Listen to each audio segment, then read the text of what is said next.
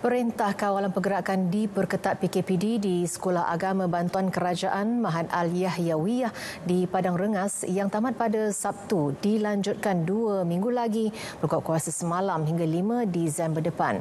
Ketua Polis Daerah Kuala Kangsar ACP Omar Bakhtiar Yaakob berkata surat penguatkuasaan SOP untuk PKPD di premis itu dikeluarkan Ketua Pengarah Kesihatan Tan Sri Dr. Nur Hisham Abdullah. Penugasan polis di kawasan PKPD itu berjalan seperti biasa dengan mengekalkan dua sekatan jalan raya di laluan masuk dan keluar sekolah berkenaan. Pada 7 November lalu, PKPD diumumkan selama dua minggu di sekolah itu bermula pada 8 hingga 21 November selepas merekodkan 27 kes positif wabak COVID-19 setakat 5 November.